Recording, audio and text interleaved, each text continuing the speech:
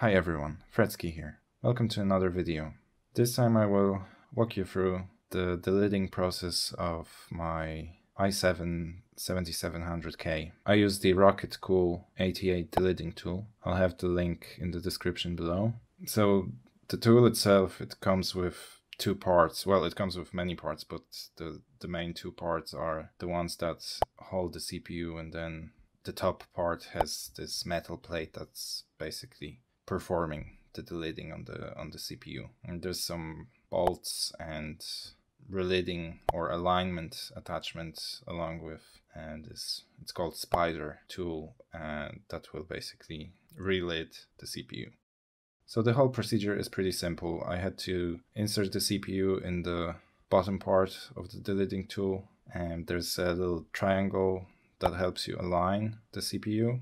So after in inserting the CPU in in the tool, I had to put the top cover on, making sure that the little metal um, plate is fully recessed and lock the, the tool with three bolts and then finger tight the side bolt. So next with the supplied Allen key, I tightened the side bolt until there was this loud pop. So once you hear the pop, you can remove all the bolts, open the tool, and you're ready to remove the heatsink. And at this point, it should come off it pretty easily. And actually, interesting fact is that the PCB with the CPU die is so light, I actually couldn't believe it. The whole weight of the CPU is the IHS. So I kept the PCB in the tool. It was just easier to clean it that way.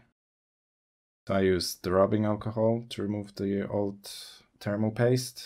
And for the silicone, I used a plastic card. And then there's just really not much to it. You just have to scrape it all off. Like it, it, it's not really hard to do, so you can just go for it.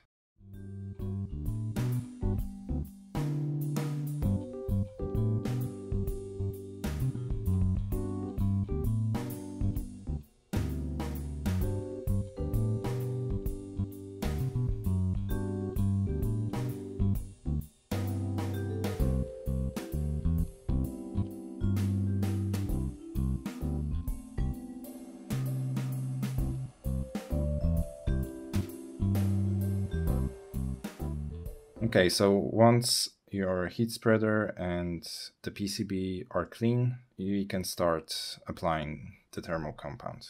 I think I've seen in some videos people using different thermal paste. It doesn't have to be the liquid metal.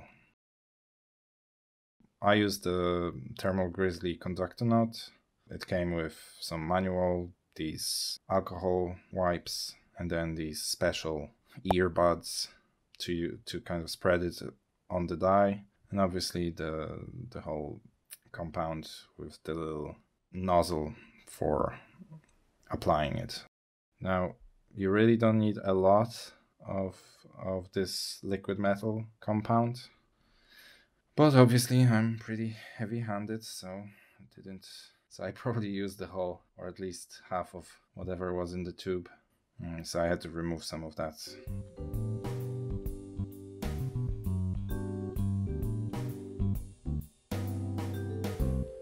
When I was done with that, I used the alignment tool and this allowed me to, you know, place the heat spreader exactly the way it was before the delidding. Just remember to make sure that all the little engravings of your model are not upside down. The next thing uh, I had to do was to put silicone on the edges of the heat spreader and I mean very little. I didn't use a lot. And once I did that, I used this um, spider. Again, I secured it with the three bolts, and then there was one uh, bolt in the middle that basically applied the pressure on the heat spreader. And I left it overnight. I wasn't sure if if the CPU will work in the morning, but it did. Now I did. I ran some AIDA64 you can see it on your screen now and i think the temperature went down between 8 and 10 degrees maybe maybe a bit, bit more so all in all good results So that's all. Thanks for watching. Subscribe for more videos and I'll see you in the next one.